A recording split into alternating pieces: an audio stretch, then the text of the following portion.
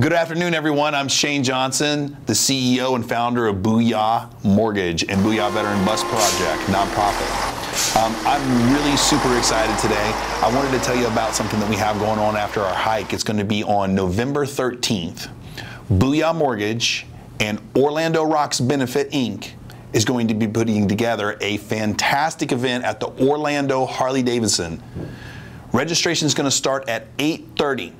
But if you want more information of this awesome, fantastic event that we're going to be putting on, please visit our blog spot at www.orlandorocksbenefit.blogspot.com.